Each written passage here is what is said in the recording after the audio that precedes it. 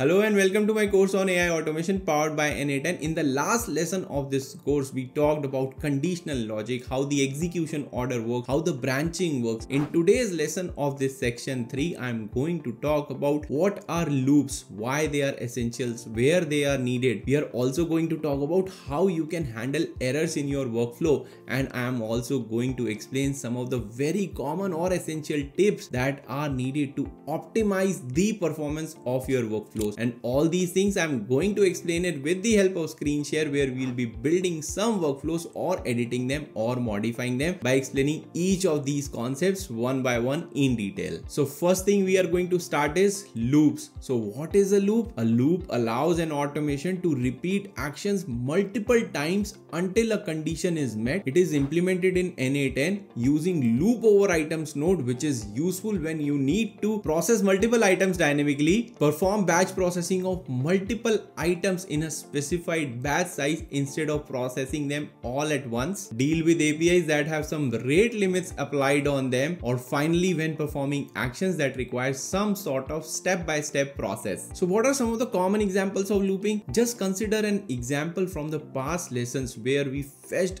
data or records of customers from a Google Sheet. We process them one by one in that workflow. However, what if there is a requirement that you want to process multiple batches of customers together like a batch size of 10, 15, 20 or even 50. Second example could be how do you handle the rate limits applied on the API calls. Some of the APIs that are publicly available or any system that provides you APIs, most of them have some sort of rate limiters on them. For example, you can only send 100 emails per second. So in such cases, looping allows you to break your data set into different batches. In this case, it will be 100 records that can send 100 emails only. Then in between, you can apply a wait node that would wait for a few seconds and then process the second batch with 100 emails or 100 records. So that's how the looping allows you to overcome the rate limiting limitations of a particular API. Hence looping or loop over items node is an essential part of any AI automation workflow in order to handle the large datasets efficiently without hitting any limits. So now let's get to the screen share and see this loop over item nodes in action. So you can see that I'm logged into the cloud instance of my n8n workspace. We are going to get started by clicking this create workflow button. This will open up the canvas where we'll be using the loop over items node in a fresh workflow that we'll be creating. We are going to fetch the emails from my Gmail inbox and see if the items or attachments are associated or added to that particular email. If there are attachments, we are going to post those files, especially the images one by one in the Notion task board that we created in the last lesson of this course. Remember, I talked about how you can integrate Notion or Airtable with n8n in the last lesson. If you have not watched it, now is the time that you can go and watch that lesson and come back over here or you will understand over here as well what we are doing especially with the loop over items node. So in order to quickly do that let's add the gmail trigger node. So this time we are not going to use gmail app node rather gmail trigger node. So the gmail node offers a trigger on message received. This is what we want that every minute my email inbox is being scanned by this particular node to see if the message has been received. Let me change the account to my gmail account of GenAI Unplugged. Now we are going to turn off this simplify option. This will allow us to have or download download the attachments. Then in the options tab, you would see two options over here. One is download attachments. First of all, I'll do that. So now it is going to download the attachments or when I click on this, then it will allow us to download the attachments from the email. And another thing that I'll do is attachment free prefix. I'll just leave it as is by default attachment underscore. So before running this node, I would like to show you the Gmail inbox. So this is the Gmail inbox that I am using. Currently, you can see there is an email by the name unable to renew subscription. And then there are some attachments associated to it. These are some random examples that I've just added. I'll mark it as unread and we'll go back to the workflow that we have and I'm going to click on fetch test event okay so we got like few attachments over here you can see the five attachments have been received by this particular node and now what we are going to do is we are going to have a filter node that would filter out any emails that does not have any kind of attachments. So over here I'll click on this expression and we'll start writing an expression. So you can see that I have dollar JSON. So I'll just say this or basically I'll just use this dot we'll say item. And then you can see that if I click on item I have both the options. I can access the JSON node or the JSON data which is here and I can access the binary as well. So I'll click on the binary and what I'm going to do is it is object and I'll just say exist. So that's the condition that we want. If the binary exists, then allow the rest of the workflow to continue. So now we'll go back and I'll run this. So this returned one item, which is our email because it had an attachment. In fact, it had five attachments. So this is where things will start getting interested because we want to process one image or one attachment at a time. So for that, over here only one item has been returned. So we have to basically split out into multiple items. So to do that we are going to use the split item node. So we'll just say split out. So over here we'll just mention dollar binary.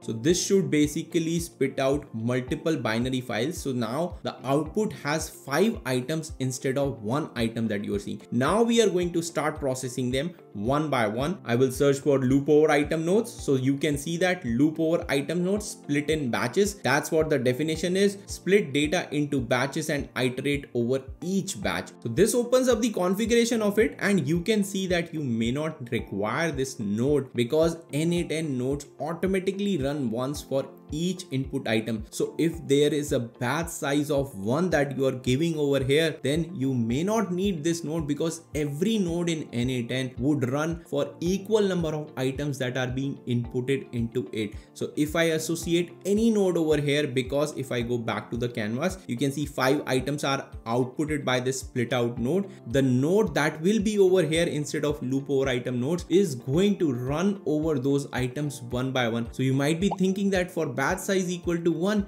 you do not even need to have any kind of loop over items node. That's where the things could go wrong especially when you are dealing with some sort of an api with rate limits in place because those limits could be only few emails per second. But since you are using the default nature of n8n you won't have any control on how many requests that particular node is going to send per second and the workflow that you are trying to execute will break because of that rate limiting error. So in this scenario as well where we have a batch size of 1 we would ideally want to have some sort of a wait maybe just a second of wait before sending the second request. Now going back to the screen you can see that the loop over item node has two branches coming out of it. One is the loop branch. So what you actually want to loop onto will come over here. That's why you have a replace me node. This is a node that that is like doing nothing. It's a do nothing node. You can use it to stop the execution of the workflow or explain some kind of a concept or make your workflow more readable by having this node maybe at the end of the loop that you do not want to continue anything in the workflow. If i just expand a bit you can see that loop branch is going into replace me. That is where we are going to call the apis and publish all these images into our notion task board. So i'm going to replace that and then you can see that after you perform one or multiple steps instead of this replace me node you can have one or multiple set. It does not need to be just a single node. We'll see it in action in just a few moments. But then after the last step is completed that you want to loop over you would connect the last node back into the loop over item node so that the loop starts executing. But how does the loop end? So whenever the condition is met the loop will end and the done branch would get executed. So if you want to do something after after you have processed all the items in a loop over items branch, you can associate that particular part of the workflow to this done branch of it. Otherwise, you can also have like do nothing. If I say do nothing, you can add this do nothing node and you can say that end workflow here.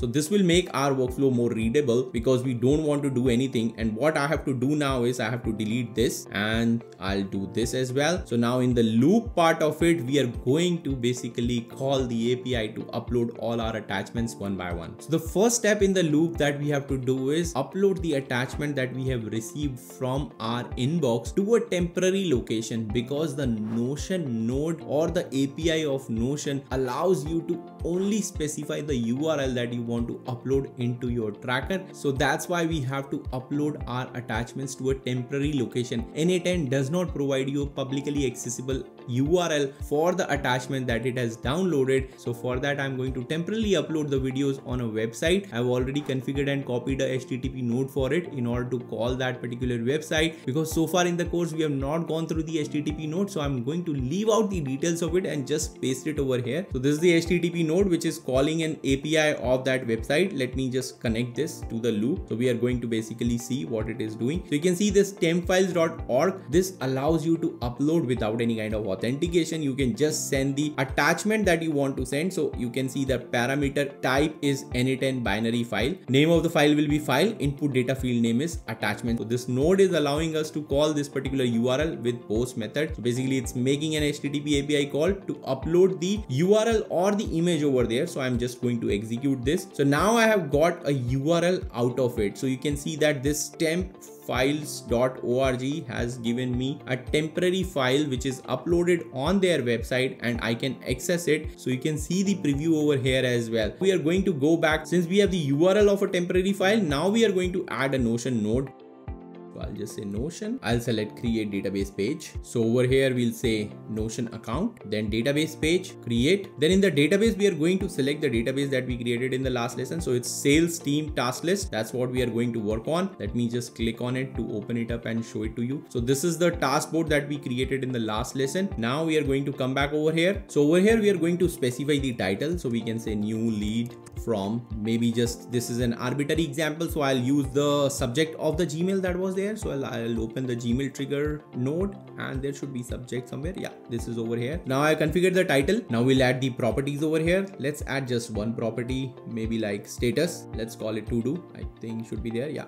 to do is here. Now we are going to add a block over here. Block should be like an image. So you can see that in the blocks you can have a paragraph h1 h2 heading 3 to do bullet and there is an image as well. Now this asks you to provide the image url that is the reason why we uploaded the image to a temporary location first and now we are going to basically use that. And over here if I expand the data you can see that data URL is there. And now this is done. So what we are going to do is execute this step. It is going to execute it. So now this is successful. We are going to go back to our canvas and basically add a wait over here. So I'll just say wait and in the wait I'll say one second or maybe like two seconds and then execute it. So it is going to wait for two seconds so that's where my flow would end to process one single image at a time. So I'm going to connect this back to the workflow over here because now we want all these to be executed one by one until all the items expire, which is five over here. Until all the five items are processed, this whole branch would get executed. And once it is done, then the done branch would get executed and ends workflow over here. Let's save this. So now let's execute the entire workflow and see what happens let's click on it.